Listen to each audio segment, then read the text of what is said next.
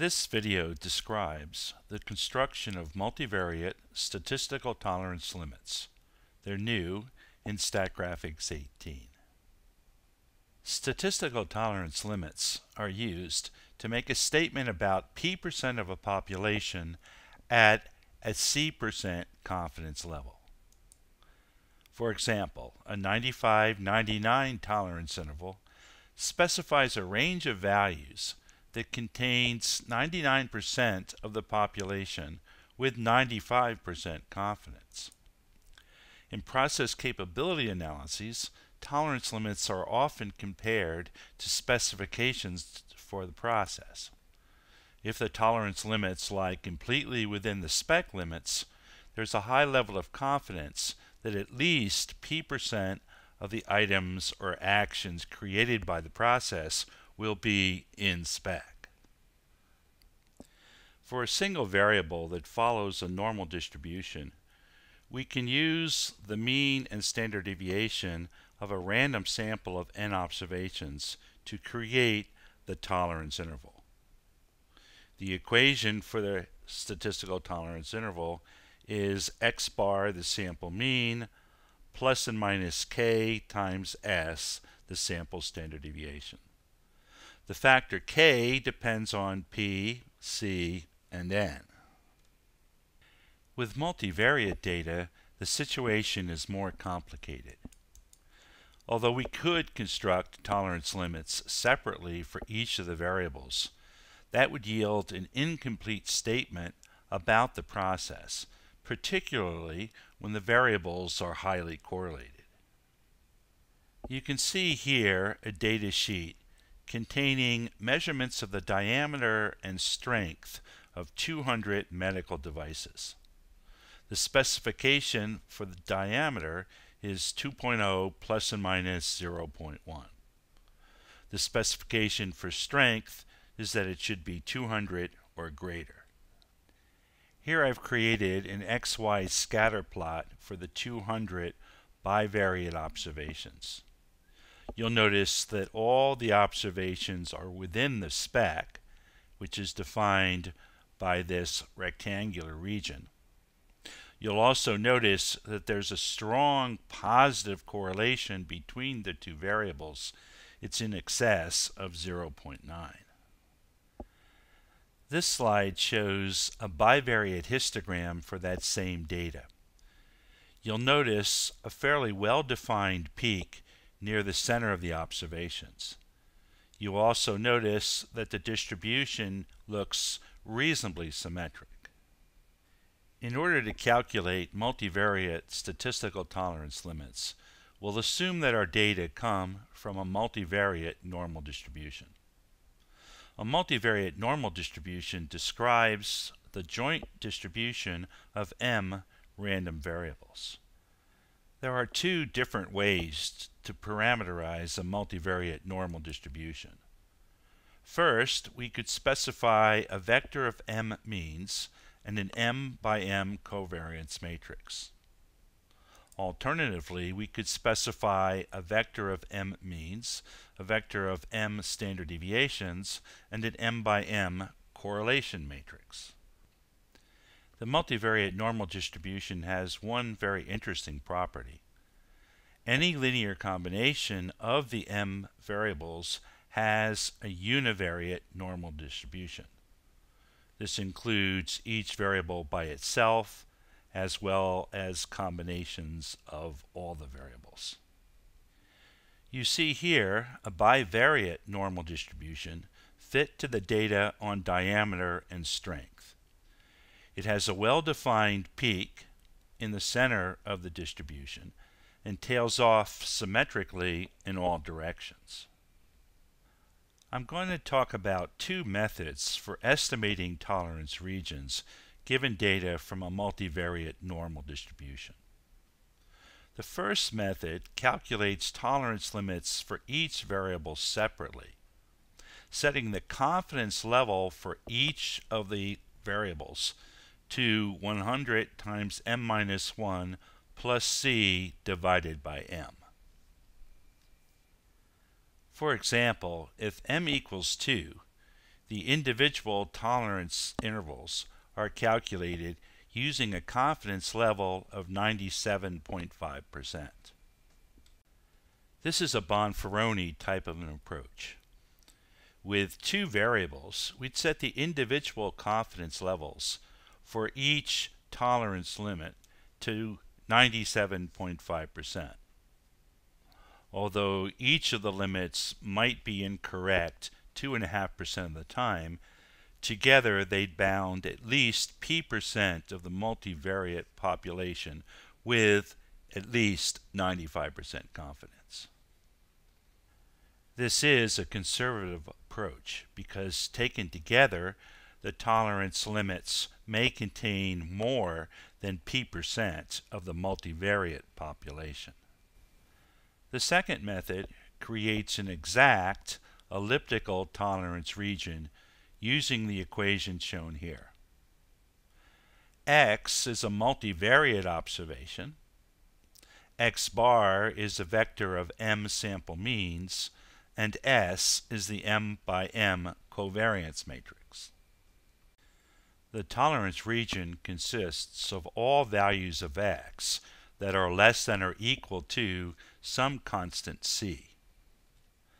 While we know that the constant depends on p, c, m, and n, there's no theoretical way to derive its value.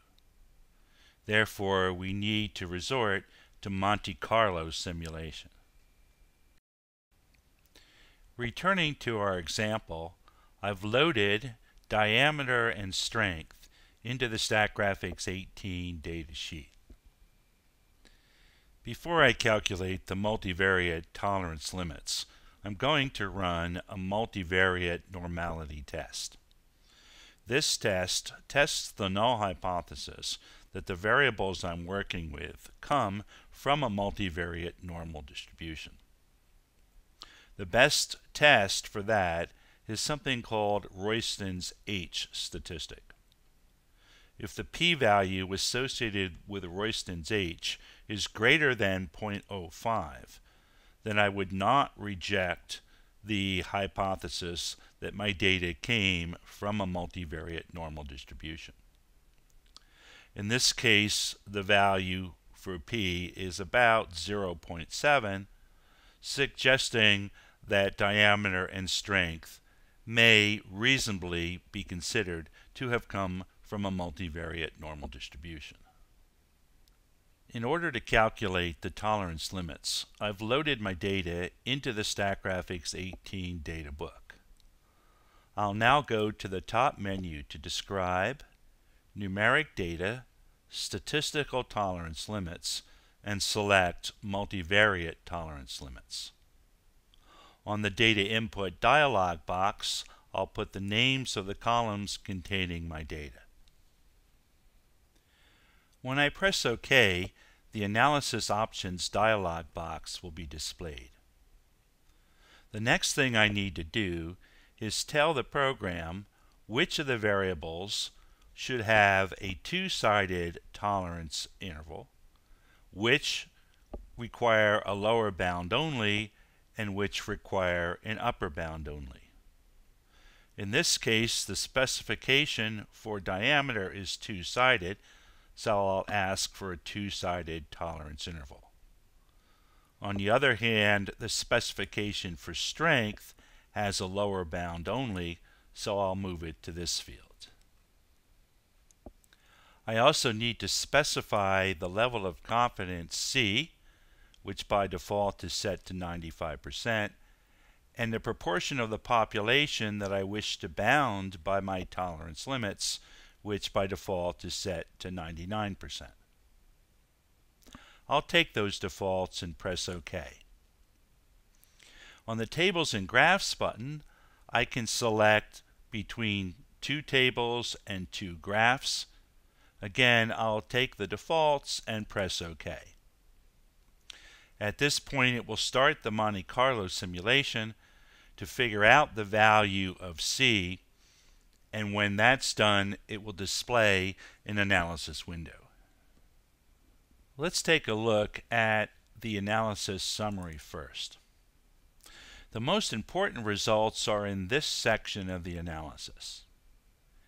You see first the 95% Bonferroni tolerance limits for 99% of the population. These are the limits that were estimated using what I called method 1.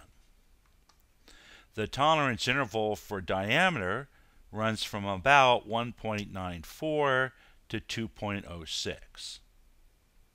That's well within the specification limits, which ranged from 1.9 to 2.1. Likewise, the lower tolerance bound for strength is about 221.9, well above the specification limit of 200.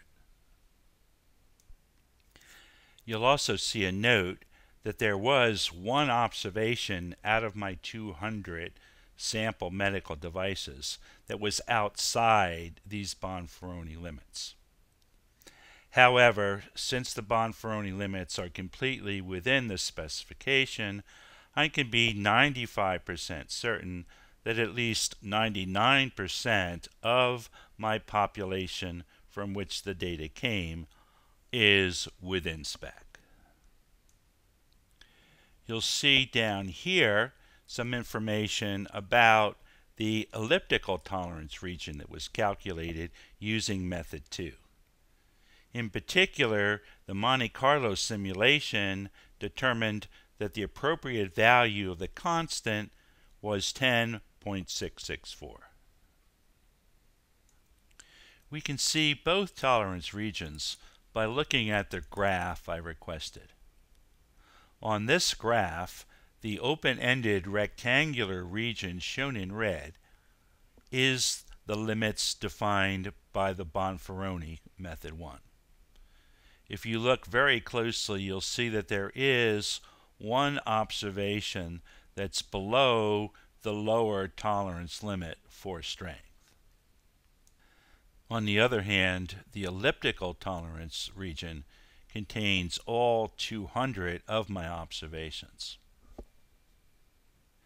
There are a couple important things to notice here. First, if you look at the area covered by the elliptical tolerance re region, it's considerably less than that of the rectangular tolerance region. Secondly, there are values of diameter and strength that are within one region and not within the other. Particularly serious might be a point approximately here. That would be a very, very unusual point with respect to my 200 samples. On the other hand, it would be well within the Bonferroni limits. There's one additional plot I want to show you based on something called the generalized distances. It turns out that a multivariate observation x sub i will be within the elliptical tolerance region if the squared generalized distance from the centroid, defined here as di squared, is less than or equal to c. These generalized distances are a good way of detecting unusual observations. Returning now to StatGraphics 18, I'll go up to the list of tables and graphs on the analysis toolbar and ask for a distance plot. This will plot those squared generalized distances. Notice that in this case they're all less than C, which turned out to be 10.664. If there were unusual observations, you can always put your left mouse down and determine what row they are in the file. In this case, the one farthest from the centroid is row 126. If you'd like to read more about multivariate statistical tolerance limits, they're covered in Chapter 7 of my book, Process Capability Analysis Estimating Quality, published by CRC Press.